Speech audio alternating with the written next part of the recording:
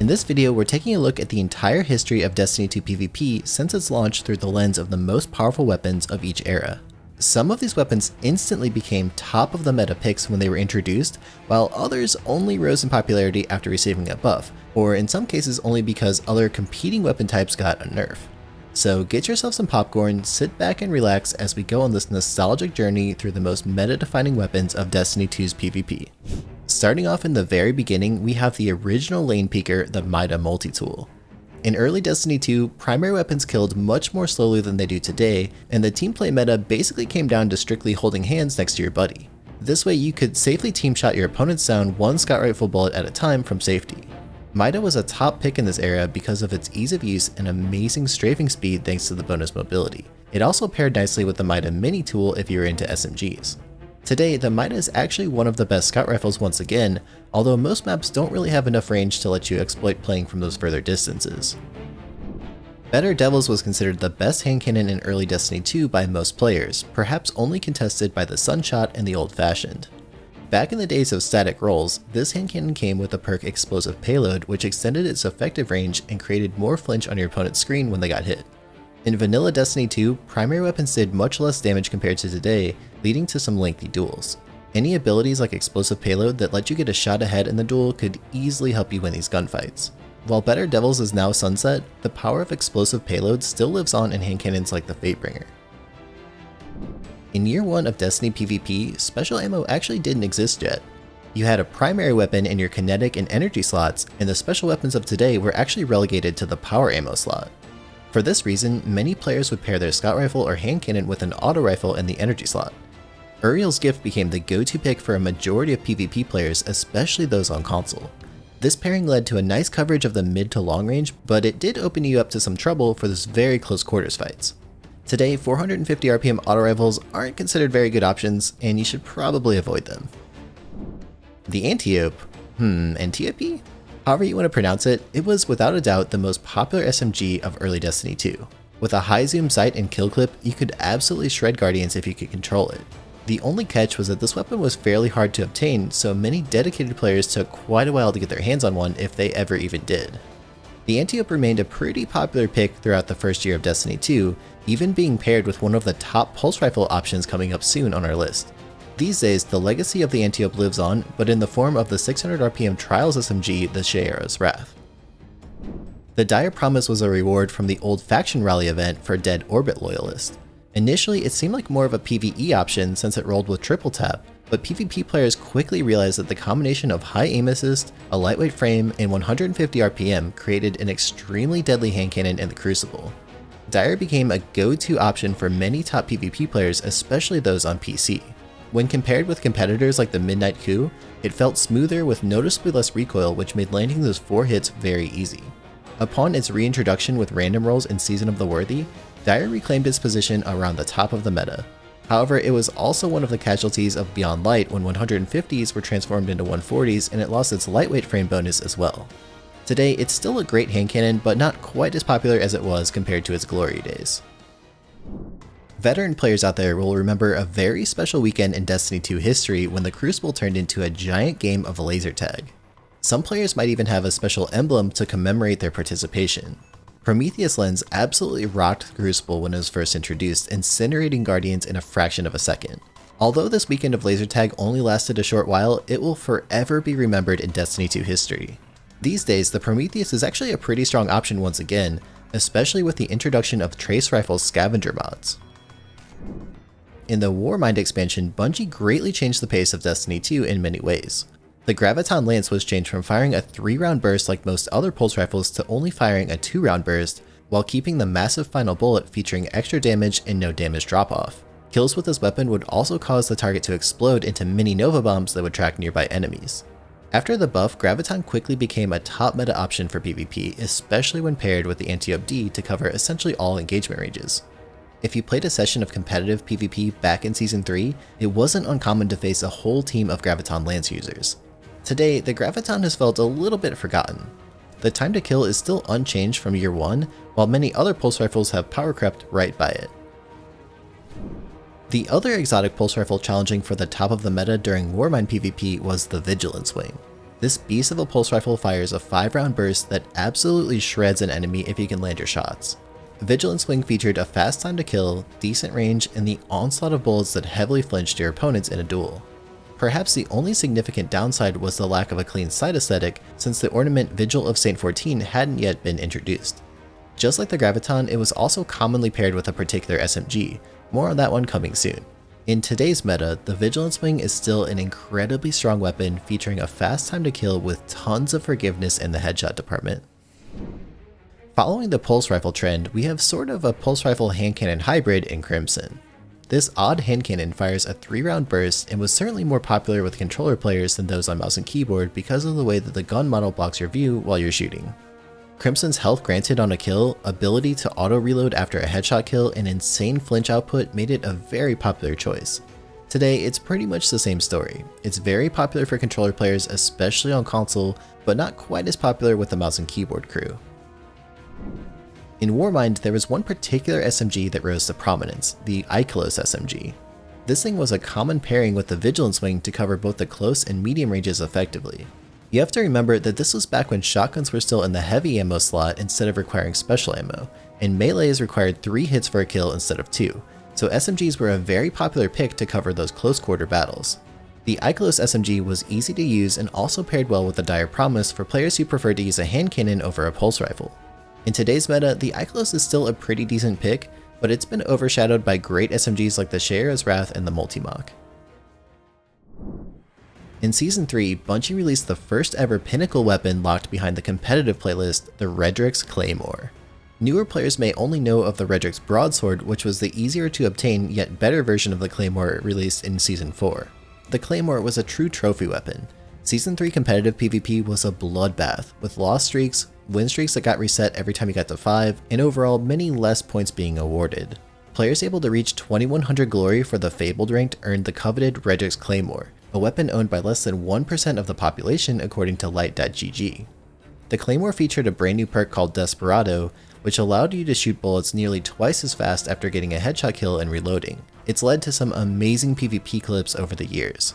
Today, the Claymore and Broadsword are both sunset, but Desperado lives on in the Messenger Pulse Rifle which is still dominating PvP lobbies. The Forsaken expansion completely shook up the entire PvP landscape. Special ammo was now a thing, new exotics were added that we could tinker with, random rolls on our weapons got reintroduced, and the lore got expanded. One of the saddest moments in Destiny history was when we saw our beloved Hunter Vanguard, Cayde-6, meet with his demise at the hands of Uldren Sov. For lore enthusiasts, this was a very tragic moment, but on the other hand, PvP players rejoiced as they had finally gotten access to Cayde's signature hand cannon, the Ace of Spades, which hadn't been seen since Destiny 1. It had amazing stats, best in class range, basically every perk that you could ever imagine, and it also came with Memento Mori, a perk which loaded some high damage bullets after a kill and a reload. This was extremely powerful as one single kill would enable you to kill your opponents in just one headshot and two body shots, or sometimes even just two headshots. Understandably, Ace got nerfed multiple times, but even still it almost always remained towards the top of the meta. Today, it lives on as arguably the best hand cannon in the entire game. Forsaken opened the floodgates for special weapons in the Crucible with a reworked ammo economy. Now, instead of requiring heavy ammo, every player could run around the map with shotguns, snipers, and fusion rifles full of ammo that they spawned in with after every death. Perhaps the most popular shotgun in early Forsaken was the Dust Rock Blues. This precision frame shotgun had some incredible range and because it sat in the kinetic slot, it was a great pairing for the next weapon duo up on our list. Dust Rock could also roll with full auto which at the time provided an insane increase to the shots per minute. A god roll on the Dust Rock was a terrifying thing to come across in PvP, especially since this was before a long series of shotgun nerfs. Today, the Dust Rock is sunset, but its spirit lives on in the brand new Fractethyst, which is an amazing shotgun. During Forsaken, Bungie added two very special hand cannons to the competitive loot pool, Luna's Howl and Not Forgotten. Luna's had more stability but less range and was available to players who completed the quest and reached 2100 glory. Not Forgotten was the true trophy weapon of Season 4, requiring you to first obtain the Luna's Howl and then climb all the way up to Legend rank at 5450. Where Luna featured more stability, Not Forgotten traded that in for more range, and a lot of it. It became the highest skill reward weapon in Destiny 2's PvP. These hand cannons were special because like the Claymore from Season 3, they also brought a unique perk, Magnificent Howl. Landing two headshots in a row would hugely beef up the damage of the next bullet, allowing you to land just a body shot to kill the target. If you played your cards right with the perk, you could even 2-tap an enemy at 180 RPM for a blistering fast time to kill.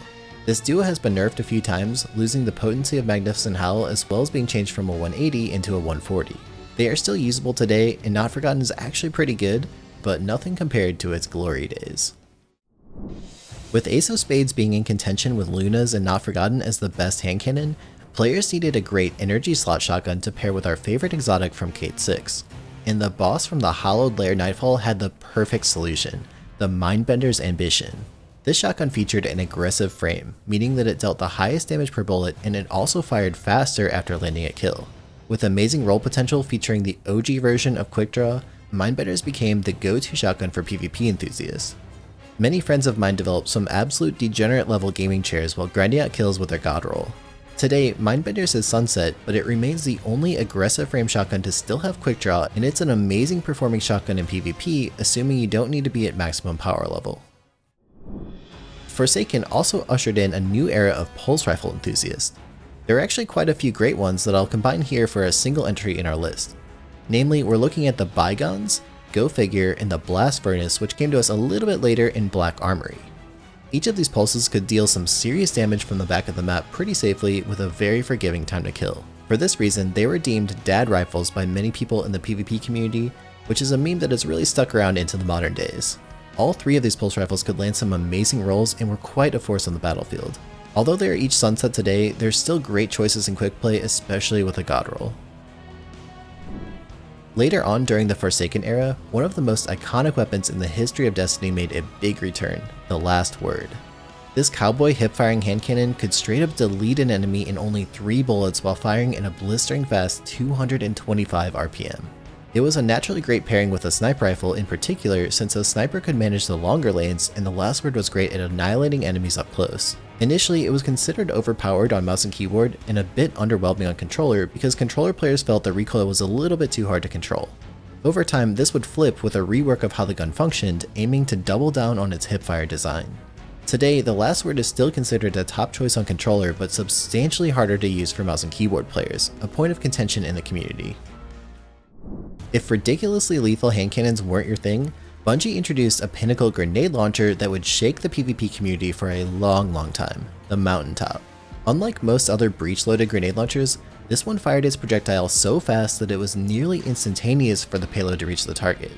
This created a playstyle where Guardians would jump up high in the air with their mountaintop to dish out some huge chunk damage to enemies below and then they'd swap to their primary weapon to clean up the kill with just a couple of easy hits. This would become a huge problem in the community, especially with the next weapon on our list. Mountaintop did finally get a huge nerf, and it isn't seen too often today, especially being Sunset, but its legacy will never be forgotten by veteran players. Imagine a weapon that could clean up a sniper rifle body shot or a blast from the mountaintop, and then go on to absolutely destroy the entire rest of the enemy team. Hmm, sounds a little bit like the Recluse. This SMG was the pinnacle reward of Season of the Drifter, and it was also the perfect pairing for the Mountaintop. This combo obliterated PvP lobbies for months and basically became the most complained about loadout in all of Destiny's Crucible. However, the Recluse didn't rely on Mountaintop to be good. It was actually a great pairing with basically any other weapon, and once you got a kill with any of your weapons, the bonus damage from the Recluse would kill your next enemy faster than you could blink an eye. Over time, it received a big justified nerf, but it's still a pretty decent SMG today if you can hit your shots, although options like the multi-mach have mostly taken its place. For basically the entirety of Destiny's lifespan, hand cannons have been the number one weapon archetype in the meta. Players have always sought out better and more effective hand cannons to slot into their builds. Spare Rations got introduced in the season of the Drifter and it immediately got the entire community grinding for it. It was a lightweight 150 RPM hand cannon with some of the best perks and stats ever seen on this archetype. Unfortunately, it was also locked behind the abysmally low drop rates in a very tedious and unengaging activity, the Reckoning. Some players managed to dodge the RNG madness and settled for the curated roll featuring explosive payload. In this case, the benefits of explosive payload were enough to offset the lack of the effective range. Although it's sunset now and it lost some of its rate of fire, Spare Rations is still an amazing hand cannon for quick play modes. Sometimes the introduction of a catalyst or a rework of a weapon has unintended consequences. This is definitely the case with the Lord of Wolves. Originally, this pulse rifle shotgun hybrid fired 5 shots per burst and then it ramped up to 10 after a kill. It had significantly more range than the regular shotgun, but it required more bullets to get the kill. This meant that you had to be pretty accurate with your aim to get the initial kill. Bungie changed this though to where you could activate Release the Wolves on demand and reap the benefits of the extra damage. This instantly made Lord of Wolves busted. Suddenly, this weapon could delete a super at SMG ranges with the click of a button and an almost trivial aim requirement. Understandably, the alternate mode got nerfed, and the availability of special ammo has also gotten reduced, so this has made the Lord of Wolves much harder to use in today's meta, but it's still actually a pretty good option. Sometimes I question if Bungie actually understands their own weapon meta. Apparently snipers weren't oppressive enough in literally all of Destiny's lifespan, so they needed a new entry in their ranks which would make sniping even easier. What's the number one problem of sniping? Well, if you miss, you lose one shot of special ammo. Revoker on the other hand fixed this issue with its pinnacle perk, Reversal of Fortune. It would generate ammo out of thin air whenever you missed. This sniper rifle was a huge problem in the Crucible, it was extremely forgiving, easy to use, and missed shots came with almost no risk whatsoever. Later in the early days of Trials of Osiris, players would camp the furthest corner of the map until one sniper shot finally connected. I'm really glad to see this one sunset. It single-handedly ruined the Destiny ammo economy, but you're still going to see it from time to time if you play the survival playlist. In the Season of Opulence, players got access to the Austringer, a kinetic 140 RPM hand cannon with some of the craziest stats ever seen on this archetype. With Rangefinder, the Austringer could challenge even the effective range of Ace of Spades, which had been a top contender in the range department ever since Forsaken.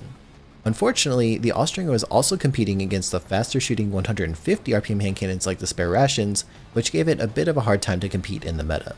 Nonetheless, many players enjoyed the sleek model and the high stats, and it was personally one of my favorite hand cannons. I was very sad when Sunsetting took this one away from us because I felt like it could have been one of the best hand cannons in the game after all the changes. Of course, no hand cannon is complete without an amazing sniper rifle to pair with it, and in the Season of Opulence, Bungie gave us arguably the most popular sniper in the history of Destiny 2, the Beloved. This sniper was absolutely oozing with aim assist, fired at 90 RPM which was the preferred archetype of the time, and it could roll with amazing perks like Snapshot and Quick Draw together. Beloved's time in the sun was also during the era just before sniper rifles got their aim assist nerfed based on their zoom stat. So the low 40 zoom scope on Beloved allowed you to land some easy headshots whether you're at point blank or across the map. It's my favorite sniper of all time in Destiny and one that I dearly miss, but I do understand why they wanted to change it it still does feel amazing in quick play even after the nerf. There's basically never been a time in Destiny's history where sniper rifles weren't a top pick in the weapon meta, and this gun is no exception. Don't be fooled by the fusion-like appearance though, Erentil definitely was a sniper rifle back in its prime. Before the nerf, fusion rifles had a very high damage floor, meaning that something like Erentil could theoretically pick up a kill at nearly infinite range. Of course, it was pretty difficult to manage the recoil from so far away, but every once in a while you could absolutely snipe an enemy from downtown. Obviously, this warranted a nerf, and today it's the precision frames that are actually the better ones for long range kills, but Erentil was a really fun weapon back in its day. At the beginning of Season of the Worthy, 600 RPM auto rifles got buffed, while Hardlight itself got another specific buff. Hardlight's range was theoretically infinite, and bullets got a massive damage increase after reflecting off of walls. Players quickly found out that holding left click down a lane was an efficient option to deal chip damage to basically everyone close by. This was a big problem. Hardlight eventually got rightfully nerfed and today it's basically just a decent auto rifle. Season of the Worthy brought us a returning weapon from Destiny 1 which become a staple of the Crucible for quite a long time. I'm talking about the Felwinter's Lie, the unique aggressive frame pellet shotgun with the intrinsic perk called Shot Package that made pellet spread more consistent. With absolutely crazy perks available like Quick Draw and Opening Shot, players could already envision Felwinter's as a perfect shotgun. It instantly became a top pick for PvP players, except there was a problem. Felwinter's Lie became completely unobtainable in the next season, Season of Arrivals. Once again, FOMO, fear of missing out, spread across the community. This was yet another harsh reminder that Bungie rarely lets you skip a season without missing some amazing loot. Eventually, Felwinter's became available to everyone again, and the shotgun apes rejoiced. But soon, Bungie decided that aggressive frame shotguns with quick draw were too powerful, so they changed the perk to surplus and then later also nerfed the range. It's never had quite the same feel ever since the changes, but it's still a pretty good shotgun. In Season of the Worthy, Bungie wanted to shake up the meta once again and they massively buffed the 600 RPM auto rifles. Unfortunately, one of the strongest auto rifles was locked behind a giant wall of RNG. Just like spare rations, the Gnawing Hunger was a weapon that came from the Reckoning. People didn't quite pick up on the strength of kill clip on this auto until the next season, Season of Arrivals, when it became readily available to be focused from the Umbral Engram system. With the right roll, it could easily dominate quick play lobbies due to its lethality and forgiving nature. While it might not have been the strongest choice for pure dueling, many players enjoyed the leniency that came from the high rate of fire. Understandably, 600 RPM auto rifles did get nerfed, but they still are decent choices in the Crucible as of today. When questioned why they played Destiny 2, most players would answer for the gunplay of course. Our next weapon though joined the party in Beyond Light and it might be hard to find in your collections. Based on how many gunplay lovers made this option back when it first came out, it's hard to not call it a weapon. Turning yourself into an actual piece of artillery just to get easy team wipes was such a dominant tactic that it basically invalidated every other hunter subclass. If you agree that this still needs a nerf today, let Bungie know by shatter diving that like button and also subscribing to the channel. In Beyond Light, Bungie wanted to shake up the hand cannon meta by removing the 150 RPM lightweight archetype and converting the 110s into 120s while also giving them a massive range boost. Players quickly picked up on the fact that they were massively overbuffed, allowing for some huge chunk damage at crazy ranges. With any kind of damage boost, 120 RPM hand cannons could kill in just two headshots, allowing for skilled players to go on massive kill sprees.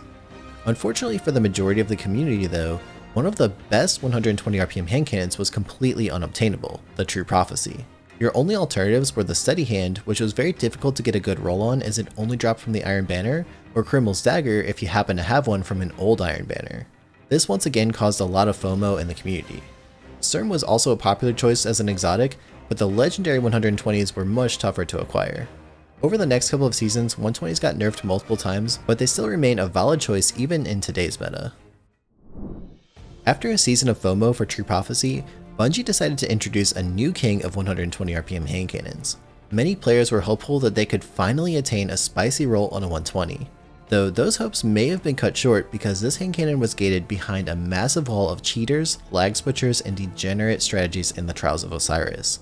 I was fortunate enough to get my hands on a god roll of the adept version pretty quickly and I immediately fell in love with it. With Rampage, you could 2-tap enemies, and it was just a clean feeling 120 with massive range and enough stability that it almost felt like a 140. With the nerfs to 120 hand cannons, Igneous has fallen slightly out of fashion, but it's still a nasty hand cannon able to perform well in basically any type of PvP. I also want to make a shout out here to the bottom dollar, which is a very popular pick especially for those who didn't have a good roll on the Igneous. The Redrix Claymore was the original high impact pulse rifle featuring Desperado as its pinnacle perk. In the season of The Chosen though, Bungie thought it would be a great idea to put Desperado on a randomly rolled Trials weapon. So they reintroduced the Messenger from Destiny 1 as a legendary high impact pulse rifle able to roll with Desperado along with a randomly rolled third column perk. It wasn't a big surprise that the Messenger instantly became the best legendary pulse rifle in the game. While Hankins may still be easier to use, some players are willing to put in the effort required to master the Messenger and become a scary opponent on the field. Even today, it's one of the highest skill, highest reward weapons in the entire game. In Season of the Chosen, Bungie thought it was about time to give us another famous hand cannon returning from Destiny 1, the Palindrome. This 140 RPM beauty has some of the best base stats in the game and can roll with rangefinder to push out the damage fall off to the extreme. It's one of the best feeling, best looking, and easiest to use hand cannons in the game. For a while, having a primary weapon in the energy slot was considered undesirable, but these days we have so many options like the Chaperone and the Eye of Sol to pair with the Palindrome that that concern is really no longer a big deal. If you want a smooth shooting, incredible hand cannon, look no further than the Palindrome. Imagine taking the last word, stretching it out a little bit, sprinkling some crazy range on top of it, and seasoning it with a hefty amount of aim assist. What you get is a feisty hand cannon sniper rifle hybrid which has single-handedly revived scout rifles in PvP, the Dead Man's Tale. This is a 120 RPM lever action scout rifle that can hip fire with almost perfect accuracy at 150 RPM thanks to the catalyst. Suddenly, players had to deal with the lethality of a 0.8 second time to kill scout rifle from basically anywhere on the map. The hipfire nature of Dead Man's Tale also allowed for a faster strafe speed and more awareness during your duels. This new king of scout rifles became especially dominant on mouse and keyboard and was a popular pick to pair with a grenade launcher like a modern day version of the Recluse mountaintop setup. Although it's been recently nerfed, many top players still consider it to be perhaps the strongest primary weapon in the entire game. The Multi-Mach was actually an Iron Banner SMG all the way back from year 1. With the introduction of random rolls in Forsaken, this one never really got its time to shine until pretty recently. Only a few select players gave the original Multi-Mach much of a try. In hindsight though, it might have actually been pretty oppressive all the way along. This is especially true for Titan mains with the Peacekeeper exotic boots that could terrorize lobbies with a seemingly bad weapon. The Multi-Mach was reintroduced in Season of the Chosen with random rolls. While the harsh nature of RNG may have created even more rage in the community, one thing was for sure. With Iron Reach, Killing Wind, and the Model 8 sight, the Multi-Mach can get some absolutely crazy range. It also occupies the 900 RPM lightweight frame, which has an extremely fast time to kill while also buffing your movement speed. This has led many players to crown it as perhaps the best submachine gun in the game. To great disappointment within the community, Bungie thought it would make sense to invalidate essentially over half of the game when releasing the newest expansion. And so it happened, with Beyond Light, the majority of our weapons all got sunset. Many PvP players to this day still miss the original version of the Antiope D. Fortunately, however, Season of the Splicer brought us back a new and improved version of the Antiope in the form of the Shayura's Wrath SMG from Trials. It has some elite perks, best in class stats, and access to adept mods which push out its effective range up to about 29 meters. Honestly, it's almost more like an auto rifle than an SMG, and if you happen to get a roll like this one with kill clip, you're going to be melting guardians from quite a long distance. With the pellet shotgun nerfs in Season of the Lost, slug shotguns have risen in the meta, with Chaperone being one of the most popular options. But its story in Destiny 2 actually started all the way back in Forsaken, Unfortunately for our protagonist, not many of the players were willing to sacrifice the ease of use coming from a pellet shotgun in return for only a few meters of extra range. The strength of slug shotguns has actually not changed all too much over the years. It's really just that pellet shotguns got nerfed over and over again, which gave a lot more breathing room for slugs. These changes give you more time to line up your shot while alleviating a little bit of the pressure needed to hit your opponent the second they show up. In the Season of the Lost, slugs became much more popular and within the archetype, the unquestionable king is the sleek and stylish Chaperone. Not only does it have the best range of all slug shotguns, but when the Roadborne perk is activated, you can shoot even faster and map your opponents from some incredible range. The final installment in our list is the Vex Mythocrutch. I mean, uh, Mythoclast. This fusion auto hybrid is a true menace in 6v6 modes and is quite effective in trials as well. The totally fair and balanced 100 aim assist and 100 recoil direction make it really easy to get a decent kill time with the Mythoclast. But this wasn't always the case. When the Vex first made its reappearance in Destiny 2, it was, well, kinda bad. The stability and range felt awful, and the linear fusion mode took forever to charge up a shot, and also the catalyst made basically just no sense. Now though, it got a huge buff in nearly every way, which has led to a massive resurgence in use, to the point where it's about to get a nerf to smack it back down. After you get a kill, you get bonus damage and more stability to extend your streak. If you get 2 kills, you can activate the linear fusion mode to potentially kill 3 more opponents with just 1 shot each. The power of the Mythoclast has basically invalidated the entire auto rifle archetype, even challenging the 600 RPM submachine guns. In the Season of the Lost, whatever loadout you intend on playing, you have to account for the sheer stopping power of the Mythoclast. Let me know in the comments, what weapons would you add to this list? If you like this video, maybe consider subscribing if you haven't yet. And if you enjoyed this one, I think you'd also like my video ranking every Destiny 2 playstyle into a tier list. It's the video on the top of your screen and also linked in the description.